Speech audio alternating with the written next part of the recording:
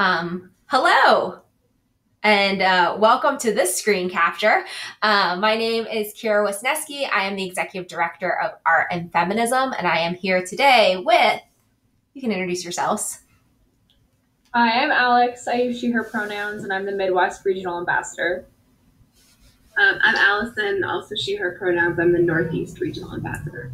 So, today, what we're going to try to do is to show you not everything about Zoom because there are actually a lot of great resources about that, but really trying to focus on some features of Zoom that art and feminism organizers might consider using when organizing a virtual event. Um, so, that being said, just dive right into it. Uh, one of the first pro tips, though, in general, is for you yourself and to remind your all of your participants to download the most recent version of Zoom in terms of updates. So they do updates pretty frequently. And if you aren't keeping up on those updates, it can make things a little wonky for um, your participants and yourself. So that's kind of the tip number one. But one of the first things we'll do is just renaming. So you'll see like right now, my username is Art Feminism, which is because I'm logged in as the Art Feminism account. So I go ahead and click this dot, dot, dot in the upper right and then rename and then I can type in my name and I can put in my pronouns and uh, there you have it.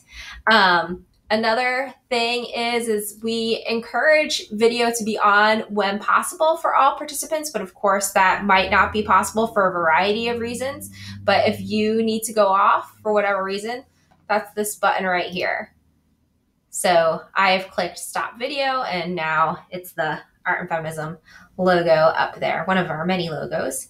Um, another thing that I think is pretty beneficial for myself, um, I get distracted by looking at myself.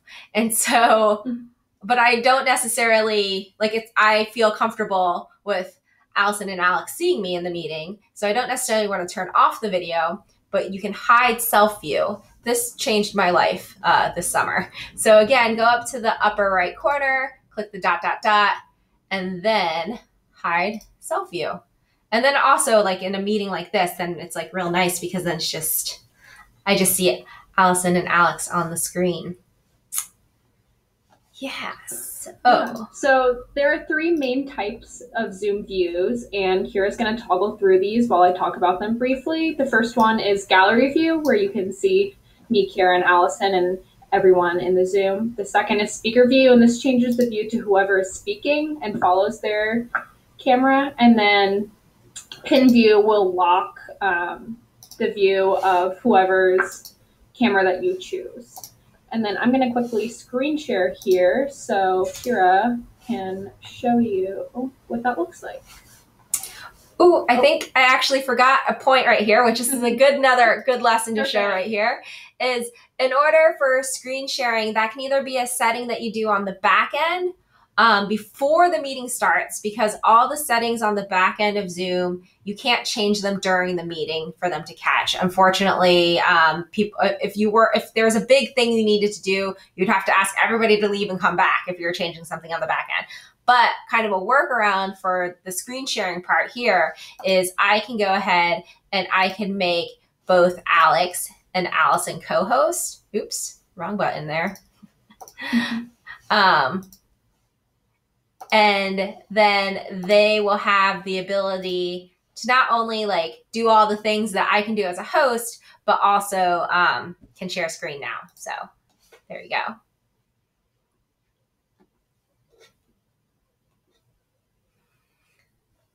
So then you see here this little like double line next to the pictures between the share screen. You can toggle that. So if you wanted to see the participants more and the, the share screen small, you can do that. You can make it like, you, you can do whatever you want. and this is just for you. So this is just on your view. Um, Allison and Alex don't see me doing this right now. So wanted to share about that feature.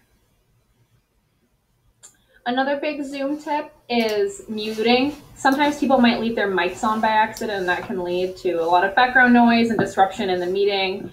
And people might purposely leave the mics on to cause intentional disruption. That's something we'll talk about a little later when we talk about Zoom bombing. Um, in that case, it's super easy to mute participants if it's clear their mics are on, but they obviously aren't contributing to the meeting.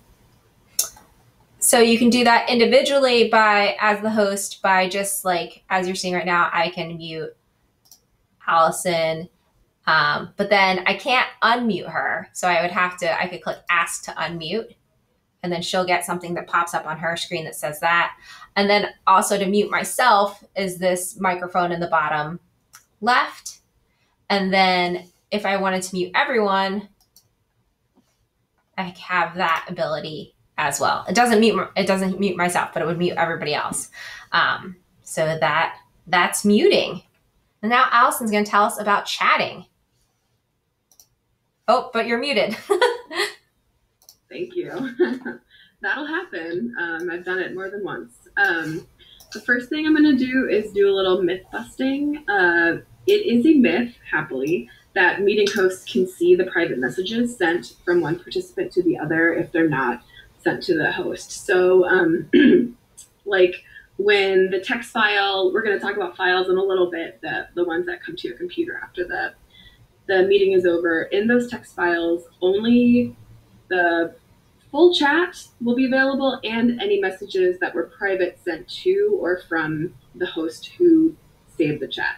So, private messages, for instance, between Alex and Kira, I would not be able to download them. Um, so, let's see. In terms of kind of strategy here, um, hosts can allow or even encourage private messages to the host if um, participants in your event are having issues or want to ask more private questions, although it might be good to encourage public uh, messages of questions and clarifications just to um, introduce or reiterate things to the whole group. Excuse me. And chat can be a great way for people who are not comfortable speaking aloud in the meeting to participate. Um, and they can be made more comfortable if the host encourages and normalizes chat usage. Um, and it's a great place for people to you know, engage without speaking because it can be a lot to speak in a Zoom, especially with people that you don't know. Um, I mean, and there are so many ways for the chat to be used in an event. Uh, the host can pose, oh, the host can pose questions and prompts, and uh, participants can do the same, of course. And one thing that we'd like you to consider is to type important points from the conversation or presentation into the chat um, to reiterate things and to make the environment more comfortable for those who learn or engage differently. The other thing I just want to highlight about the chat too, that if you're, for instance, sharing um, a reference point or a slide deck, um, share that frequently because if people join at different parts, they don't see the chat that happens before they've joined. So if you have people kind of rolling in and you're sharing, for instance, a slide deck you're going through, or maybe you put together a really great LibGuide, um, be sure to share that frequently in the chat throughout your event to just to make sure that everybody gets it.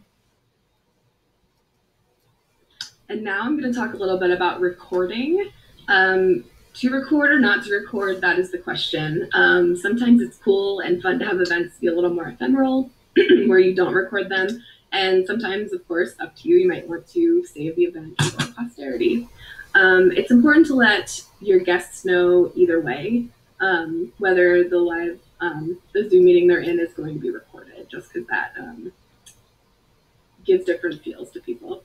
Um, so you have options. If you record a meeting, you can save them to your computer or to the cloud, and um, you can decide where. So if you if you don't want to save to the cloud, you want to save to your computer. Um, I found personally that the default location set by Zoom is confusing. Um, for instance, it's saved in my like documents uh, area, and I've never looked there. So um, it's a great idea to change the default um, place where this saves, and um, that is easy to do.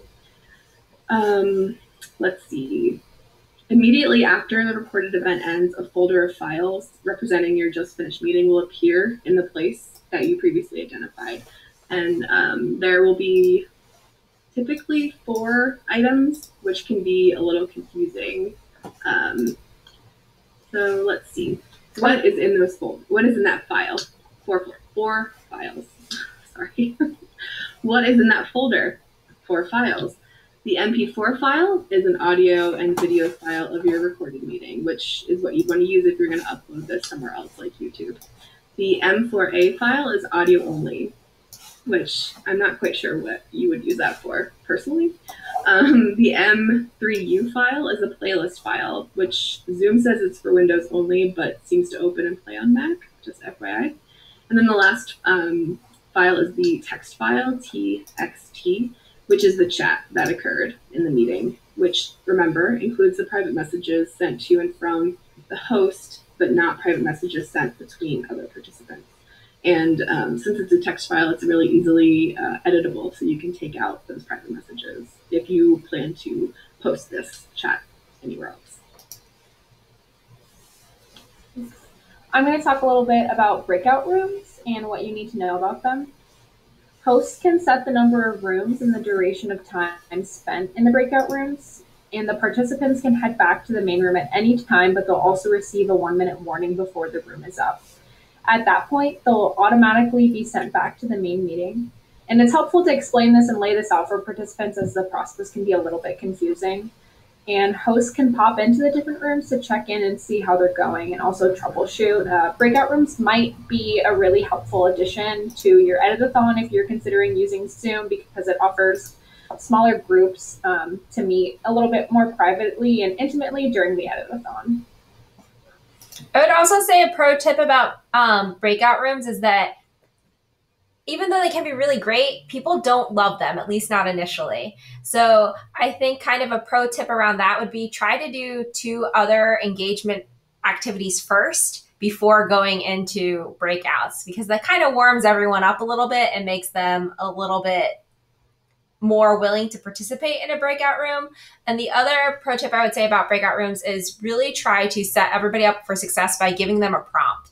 Like, don't just be like, all right, now go meet each other. Like, ask them something really mm-hmm. specific. Like, um, what was the first wiki article you edited? Or what'd you have for breakfast? You know, you can do any kind of little prompts just to get people talking. And then it's up to them on whether they stay on that or not. But giving them that it kind of helps like subside the the awkwardness of like so we're in a breakout room now which i feel like we've all we've all been there.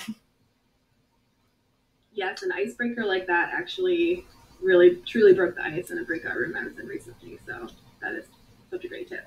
Um, there are a couple of options and possibilities for using breakout rooms. Uh, these are just a couple of ideas and if you those watching have other ideas please send them to us so that we can share these great ideas. Um, and this is once you've established, um, once you're feeling confident that your participants are going to like the breakout room and you've thought of a good icebreaker. Um, for instance, in an editathon, you can put people together in rooms based on skill level or interest or to discuss issues and co- concepts brought up during the training. Um, and then during a panel or a more discussion based event, you can place people into more random rooms to discuss issues brought up during the event after they tell you what their last ice cream eaten was. And so for this meeting, I'm showing you the, the, you can't see it right now, but I'm showing the breakout prompt. I didn't click in the setup part. You can actually like set up before the meeting launches again what kind of rooms you would want and you could even name them. We didn't do that for this demo, but it would it would pop up here if it did. But you can see the various options here. Um, so something I want to share next is about um, we all generally know about screen sharing, but something that's really specific that we um, doesn't seem to be super well known is how to share just sound. So there might be an instance where, for instance, you are just having uh, open editing time and it's just really quiet. Um, and so then somebody will try to play music from their computer, but then you hear them typing at the same time. You don't have to do that. Uh, so you can you can be on mute. So if you click the share screen button and then click the advanced tab, and then you can click this option of music or computer sound only. And so then when I click that, then you can still see me. I can mute or or unmute and I could play something from Spotify or iTunes. We do have a collaborative Spotify list um, that is in the virtual guide that actually we would love for you to add to. One other thing that um, can increase engagement and consensus within your Zoom um, event is polling. So let's see, you can use this tool in a couple of ways. Uh, consider using it to, you know, gauge audience uh, knowledge of or familiarity with editing, for instance. Um, you can also also ask something a little more fun and random, like the icebreaker. Um, it's a fun and potential way to get um, people not just staring at their computers, but actually clicking and showing that they're there. Um, so to ask a poll question, you'll be prompted to create your poll or your polls in a browser for your information. Um, they're then saved to your account and can be posed uh, to your participants again and again in other meetings, say if you want. Um, another kind of more casual polling thing or engagement thing is to uh, encourage participants to use reactions, um, such as clapping or thumbs up in like the previous uh, iteration, yeah, previous iteration of Zoom, and then I recently updated and saw there were many more. So there's so many answers that can be answered with these. Um, so it's just a way to get people, you know, yeah, for fun, and second of all, engaging a little bit more. So the one thing, like we were talking about, like pretty much like all the things on the back end have to be set up beforehand, and you can't really do it. Polling's the exception. You can actually decide to set up a poll in in the moment. So here, I'll click on it now, and this window pops up. Uh, Alex and Allison can't see this right now. And I click add a question, and it will pop up in my in my browser. And so this is where then I can edit. I can do a poll. So test poll. Um, here, uh, do we have consensus on X? Um, yes, no, and then I can click save. Um, and then I can go ahead and launch my poll. Um, this is it's it's cool because you can actually do this um, like I said ahead of time or in the meeting with polls. So if you both do we have consensus on X? You should see this on your screen, I hope. So something I just learned, I think since we're co-hosts. Oh, you can't vote because you're co-host. That's right. Well, everyone here is a co-host, so nobody can vote. I also can't vote as a host, so yeah, learning things. So then, if you, then we could share results and yeah. Um, a point of information though about polls and the recordings is that the image of the polls is not captured in the recordings of Zoom. So if that is important for your recording later, just be sure to read the poll and the poll results just to kind of capture that on the recording. Cool. All right, so next I want to briefly talk about accessibility.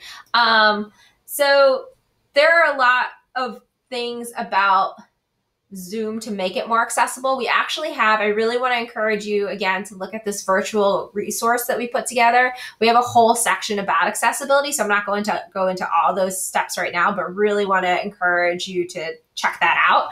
Um, some things that you can do about accessibility here, though, is one, as we mentioned earlier, having your video on is actually helpful for accessibility. Um, for certain participants, reading lips and body language might be really helpful for their experience. And then the other thing is this closed caption. So we actually have um, at Art and Feminism, we have Otter AI. So I can show you what that looks like. Now I'm getting into like various other tools. Sorry. um, total total segue here. But uh, so i just went live to show what otter ai looks like. Um, and this is another feature that can help with accessibility because what it does is it creates a live transcript of the meeting. And so you can see as I'm talking, it's it does a pretty good job. Unfortunately, it is limited to English only, at least at this moment for this tool. And you can see the name of our meeting is Screen Capture Zoom for Real. Um, but then also going back, you can see, and Allison and Alex, you should see this too. In the top left, there should be a live on custom live streaming. So that is an option for closed captioning. The other option is um, I could actually copy this API token. And again, this is something that works with Otter, but could work in there's there's a couple other um, services that do this as well. But you'll see I'm on this Otter screen now, and I'm putting in the API token, and then I'm going back into Zoom, and then you should be able to see here at the bottom. Um, if you are at a university, there is another kind of Zoom called like I don't know, it's like Zoom Education or something like that, and there is a built-in Zoom closed caption for that. Um, and then a cool thing about the built-in closed caption here is that you can move this around. So I have like, you know, some black space over here where there isn't somebody's face, and so I can move the captioning over there. The uh, what else do I want to say about it? Oh, interpretation is the other thing I wanted to mention about accessibility.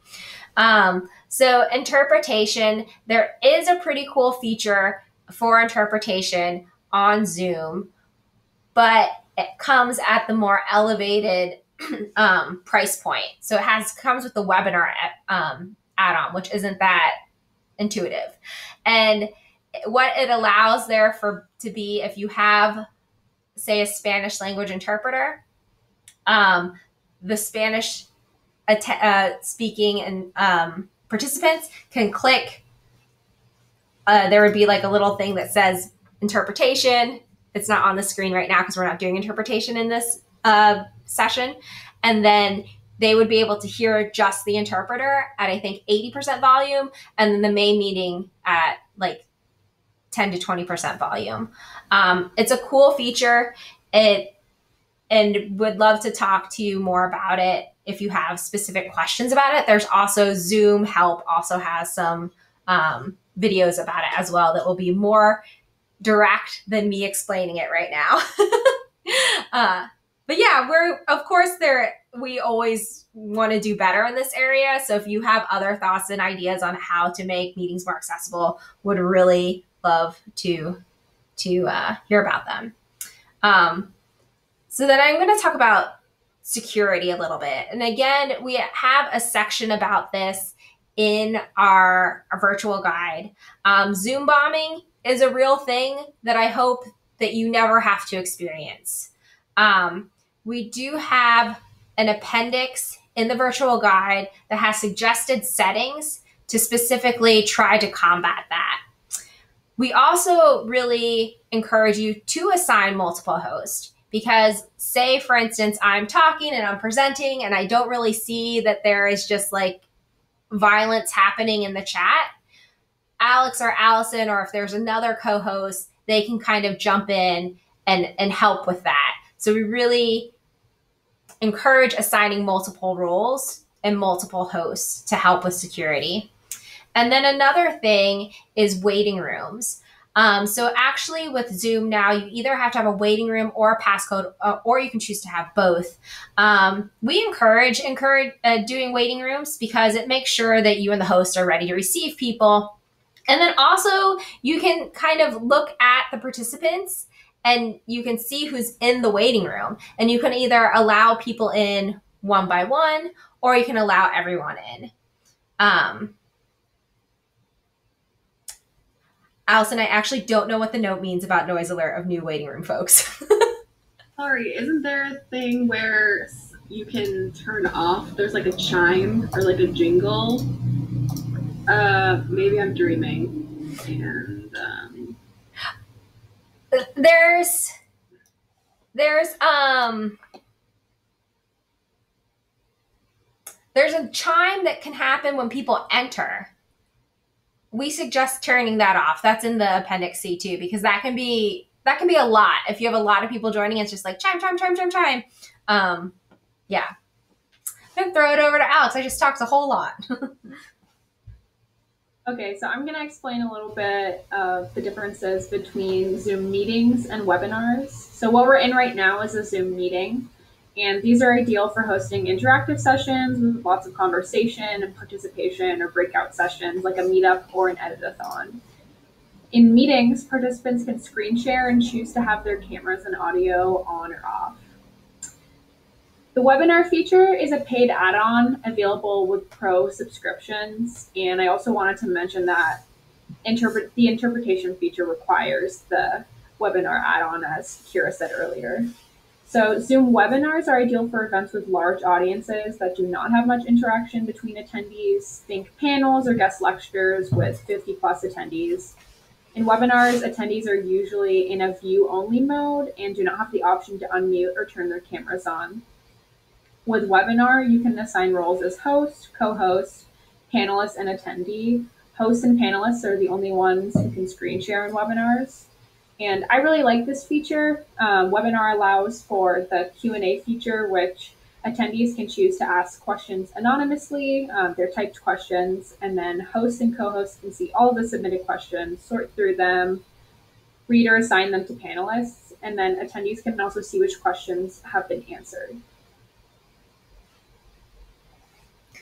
Yeah, and so now I thought it'd be great if Allison and Alex could both talk a little bit about how they're using Zoom for their own events with art and feminism. So, Alex, you want to go first? Yep. So, I'm hosting a more self guided virtual editathon this year. Throughout our editathon, my fellow co organizers and me will be available in an open Zoom meeting. Editors will be able to pop in at any time to ask questions or chat, and I anticipate that Zoom screen sharing feature will be really handy in helping participants edit or use Wikipedia so we can see each other's screens and maybe do walkthroughs. And then additionally, we're using Zoom Webinar to host a guest speaker event um, that I anticipate will be widely attended. And we're going to record the event to make it available online, online to those who couldn't attend, who can't attend live. Um, and then a little bit of a pro tip in the past, I found it really helpful to assign roles to keep the event running smoothly, especially if it is a lecture or a Zoom webinar. Um, designating someone who is not speaking during the event to answer any attendee chat questions, write notes in the chat during it, or record the meeting. I'm still in the earlier planning stages for my editathons, but um, I'm planning to have kind of an open Zoom meeting as well. Um, and so that folks feel some camaraderie. And I'm stealing Kira's pro tip about playing music only. I'm very excited about that. Um, yeah. Yeah, and I think that that's it makes sense that like being in your planning stages of, of your event right now, and that's why we're doing this video, and hopefully it's it's helpful. And I feel like I rambled a little bit in the middle, so I apologize for that. Um, but to wrap it all up, I do want to highlight that Zoom is not free.